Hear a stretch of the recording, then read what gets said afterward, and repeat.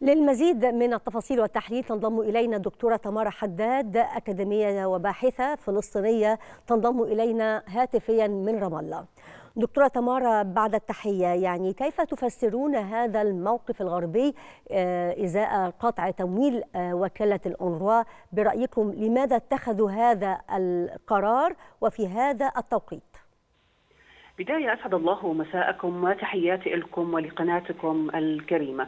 طبعا جاء بتوقيت متعمد من قبل الكيان الإسرائيلي. أولا عملية قطع التمويل بالتحديد للأونروا لها علاقة دلالة سياسية وهي تصفية قضية اللاجئين. يعني هذه عملية القطع لم تأتي في أول مرة في حياة واقع الأونروا كانت هذا القطع في أكثر من نقطة. وعملية تصفية قضية اللاجئين تأتي في هذا السياق من خلال قطع المساعدات وقطع التمويل لوكالة اللاجئين أو إغاثة اللاجئين الأونروا. لها علاقة بتصفية القضية وتحويل كل الأموال التي كانت تقدم إلى الأونروا تحويلها إلى دائرة تسمى دائرة الهجرة الدورية.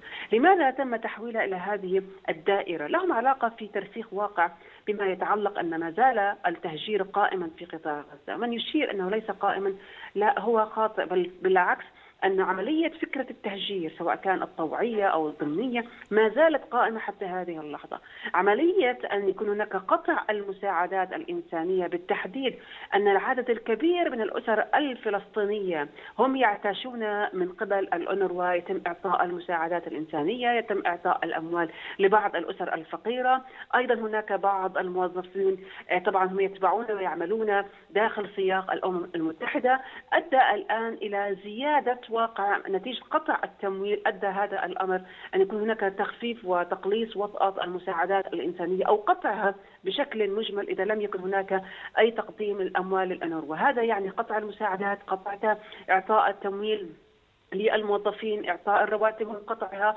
أيضا إعطاء من يلزم له في سياق الواقع المعيشي، الواقع الصحي، الواقع الغذائي، هذا اشاره أن سياسة التجويع هي يتم نجاحها وبشكل دقيق وبشكل ممنهج، ليس هذا فحسب فبالتالي هم يستخدمون سياسة خطة التجويع ضمن سياق حتى يتم ترسيخ واقع للمواطن الفلسطيني فكرة التهجير. دكتور تمارا يعني اولا كيف هل تتوقعون امميا من دول بعينها في الفترة المقبلة تجاه هذا هذا القرار تحديدا؟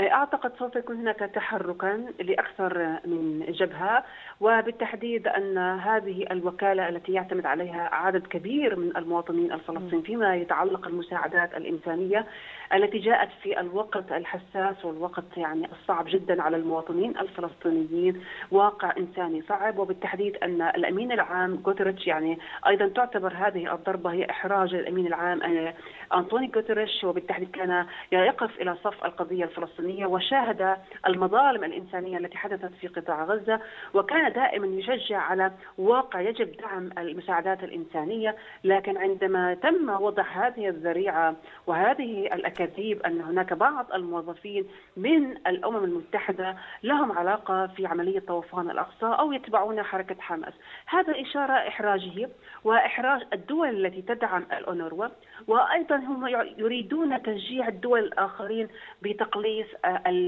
المادة التمويلية وأيضا تقليص كل الواقع المساعدات التي تقدم إلى وكالة الأونروا.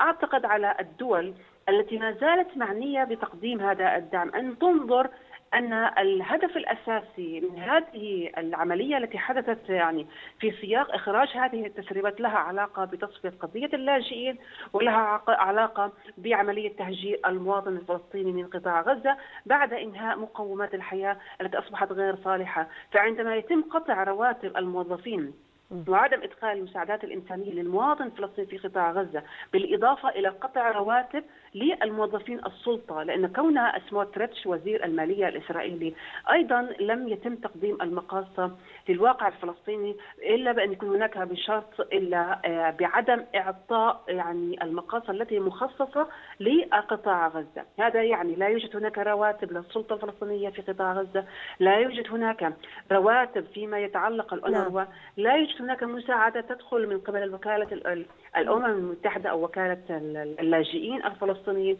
هذا إشارة أن 98% أن واقع المجاعة بالفعل سوف تتحقق على أرض الواقع وهذا سوف يتم تحقيق هدفهم الأساسي سياسة ممنهجة لابد من يعني أن يكون للدول ذات الصفة الإنسانية وللدول العربية أيضا تحديدا موقف قوي تجاهها. أشكرك. شكرا جزيلا الدكتورة تمارا حداد أكاديمية وباحثة فلسطينية. كنت معنا على الهاتف من رام الله.